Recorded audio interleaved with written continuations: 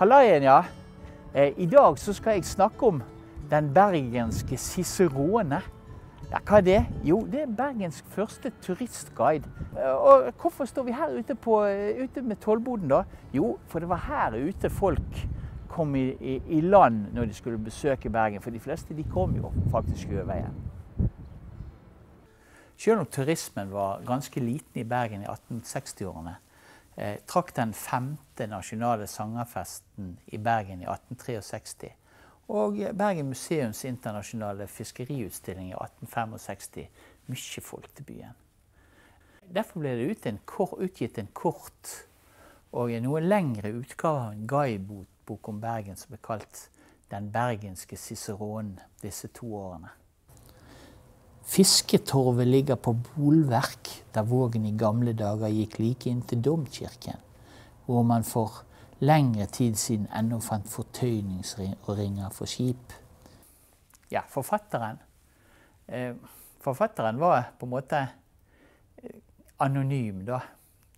Men var ikke så veldig anonym, egentlig, for etter hvert så visste jo alle hvem han var. Det ble snart kjent at det var bergenseren Fredrik Melser Vallehem som var da eh, skribenten. Fredrik var i ungdommen både sjømann og journalist. Men Ciceronen kom derimot ut da forfatteren var jusstudent i, i hovedstaden Kristiania. I seinere år var Vallam opptatt av journalistikk og fiskerispørsmål, og var også redaktør i Bergensposten før han ble fiskeriinspektør. Fredrik Vallem var i tillegg også ivrig amatørfotograf. Og mange av bildene hans fins i dag hos Universitetsbiblioteket i Bergen, og kan da knyttes til hans interesse for uh, fiskeriene. Uh, her er det bildet dere ser her er dampskipet Forsøk som sleper båter til drivgarnfiske. Vel, den bergenske Cicerone kom i to utgaver. I 1863 kom det en litt mindre utgave som skulle være sangerne under sangerfestivalen både til nytte og fornøyelse, så det står så greit. Og gi dem nå en innføring i byens eh, severdigheter og eh, historiske hendelser. 65-utgaven eh, inneholder en del mer opplysninger. Og man kommer liksom litt mer under huden på bergenserne. Her står gjestebud og besøk samt litt mat. I alminnelighet gjør ikke bergenserne meget av selskaper, vesentlig fordi familielivet har hevdet sin plass foran selskapslivet. De patriarkalske båndene er dog nå temmelig løse. På den andre siden holder man i Bergen ennå meget på den gode, gamle skikk at betraktet sin familie som nærmere nærmerestående enn sine venner og bekjente, så at et selskap i regel må telle flere gjester enn familiens slektninger for å kunne omfatte vertens omgangsvenner og bekjente. Den bergenske Cicerone er en guide til byen slik han var på midten av 1860-årene. Ciceronen beskriver først eh, innseilingen til Bergen. Og, at eh, den som da kommer til byen, stiger i land ved tollboden. Herfra guides det da i, litt på kryss og tvers i bergensgatene i, i, i bøkene. da. På Torgallmenningens høyre hjørne, står det greit, ligger Sundtum hotell. Dette er et bergensk hotell, skriver han så greit, hvor man tar inn hos vertens familie. Og dette er jo da populært både hos engelskmenn og hos Henrik Ibsen. Byens eneste ordinære europeiske hotell ja, det er derimot Hotell Skandinavi på Klosteret, eller Nyeveien, som eh, området ble omtalt på den tiden. Strandgaten er f.eks. beskrevet som trang og full av folk. Her blir du skubbet gjennom ujevne gater og smale fortau som ikke kan brukes pga. at de er fulle av eh, salgsvarer. Bodene, salgsbodene sto i veien. I butikkene både over og under bakkenivå så kan du få kjøpt alt. Ja, Det finnes også enkelte fester der Bergen medfører en egen rett eller spise. Eh, det ville kanskje sjenere deg å få dem alle sammen til, og måtte sette dem alle sammen til livs. Men noen av de beste må du dog have. Bededagsaften får du pannekaker. Hele fasten igjennom kan du få kjøpe eh, eh, Sankte, Sankt Klas gods til barnet. Men kun fastelavnsmandag får du hetevegger med smør og melk i. Påskeaften får du egg. Julaften trakteres til klokke tre-mat med julebrød og nagelkjøtt. Til aftens med risengrøt og persetorsk. Artig. Mange av disse tingene lever jo videre i dag. Ciceron forteller også at du må passere gjennom mureporten for å nå byen. I den er det også kafé for striler og strilejenter. Ja, torget, eller selvfølgelig Torvet heter det på fint, er også tema. Østre del av Torvet eh, med kjøttboder mot Bryggesporen kalles for Kjøttorvet. Bak dette ligger grunningen der melkebønder med vakre nasjonaldrakter fra Fana og slanke, raske Åsane-bønder selger varer. Det er flott! For å komme da uskadd over Travlebryggen, så er det viktig å ha åpne øyne og ører. Men pga. fiskelukten så skal du helst ha en lukket nese, da, fortelles, fortelles det her. Ja. Eh, når vi kommer rett for byggen, kommer vi til Bryggesporet. Under stevnetiden så, her, eh, så, er det her mange boder hvor man kan få kjøpe alt man har bruk for. Fra luktende vann eller øde kolonj til angler, altså fiskekroker og sjøstøvler. Og om du er sulten, da, så kan du da spise nordfarenes livrett her, forteller han. Eller det er da gryngrøt med slikk eller sirup på, da. Ja, Ciceron ender på Bergenhus, der festningvollen i 1860-årene kun verner kommandantens kyr, som går da i en havnehage i, i det området. Nedenfor festningen så kan man også prøve et friskt sjøbad på Bontlabo. Eller sier du kan selvfølgelig besøke Nils Klims hule. Ja, jeg syns her er mye artig. Noe om bergensernes lynne må jeg òg fortelle. Ciceron gir nemlig interessante skildringer av folkelivet og huslivet i Bergen. Det bergenske folkelivet er preget av kontakten med folk fra alle Europas nasjoner.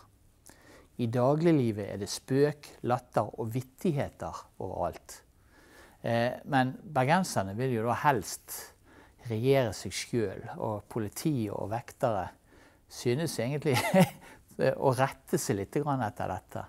Ja, F.eks. da politimesteren ville godkjenne tillatelse til å arrangere linedans på torget, fikk gateguttene i byen torpedert dette. Eh, og guttene erter stadig på seg lovens voktere. Har også egne øke- eller kallenavn på, på politifolkene. Ja, Ciceron forteller også at bergenserne er glade i å spasere og anbefaler da spaserturer langs eh, Lungegårdsvannet, som han kaller det, eller Nygårdsalleen. Eh, ja. Og disse møtes da ved Nygårdsbroen. Søndags ettermiddag kan hele familier spasere fra eller til sitt landsted. Og eh, hjem igjen om kvelden så kan jublende, syngende og spillende tjenestefolk komme da eh, tilbake til byen med fulle mager og hoder og tomme matkorger og flaskefôr. Så han beskriver jo en livlig byen, da.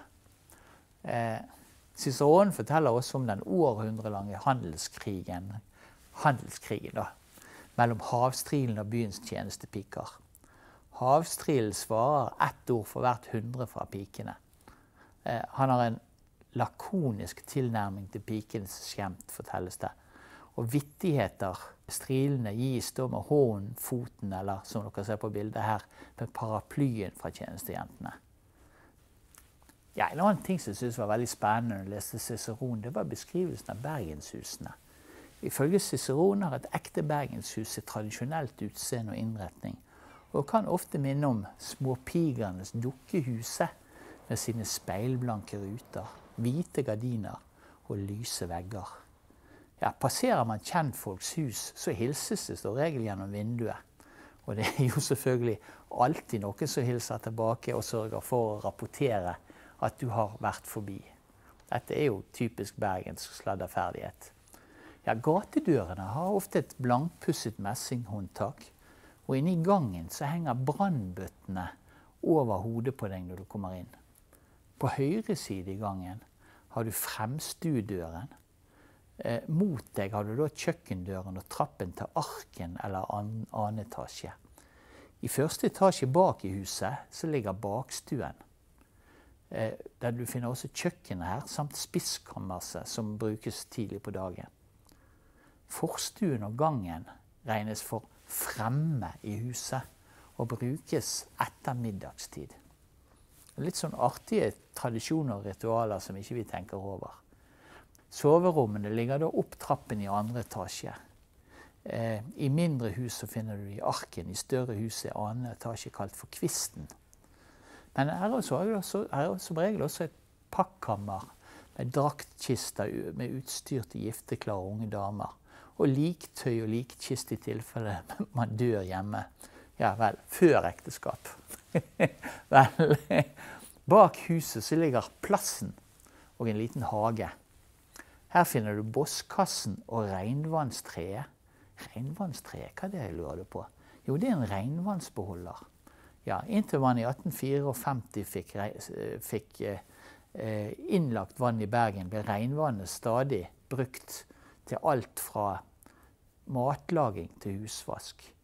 I tørketider ble det derimot hentet vann fra Bispevannet, eller gjerne fra Mulelven eller andre Eh, vannkilder i byens utkant. Ja, Ciceron mener at en ekte bergenser alltid starter dagen med å spørre om vær og vind. Det er litt artig. Noen lever jo i dag òg. Det, det, det, det, er sjelden kalde vintre eller varme somre. Så besøkende har ofte følelsen at det kun er to årstider. Det er vår og høst. Flere måneders regn er også greit for bergenserne. jeg vet ikke om du skulle si det, men ja, bergenserindenes friske ansiktsfarge som forteller om, viser nemlig at klimaet i Bergen er sunt. Men du kan bli overrasket av pent vær. Byen blir da i perlehumør, forteller han, og alle ansikter stråler av glede. Overalt hersker det da liv og lyst. Ciceronen skriver at gamle dagers underholdning ofte var en duell med satirisk, komisk eh, humoristiske piler, som han skriver så greit. Dette er da mellom to personer som sitter og egler hverandre med bitende sarkasme i all gemyttlighet. Og her er det da spøk og vittigheter som da blir slengt frem og tilbake om ørene. Og disse rammer både nedværende og fraværende, og både venner og fiender like bredt. Om det, og både damer og herrer. Og dette kan jo da skje over groggen. De, de sitter småfyrer, da. Eller i festlige lag under eh, drikkingen av punch fra en lilla bolle. Det var litt fint selskap. Da drakk de av en lilla bolle. En violett ble da punchball kalt. En violett kostet en daler og ble drukket for å feire når det var noe ekstra. Når det var fødsler, f.eks. Ja, besøkende i Bergen møtes stort sett med vennlighet og godt humør. En spøk blir alltid godt mottatt. En vittighet svares med en annen, mens et personangrep møtes med bitende sarkasme. Ja, det hersker også en lett utvungen og spøkefull tone i det bergenske selskapslivet. Sliter du med å konversere, men vil bli godtatt, anbefaler Ciceronen tre råd. Tørk av deg på matten. Spytt ikke på gulvet, og spis pent av tallerkenen.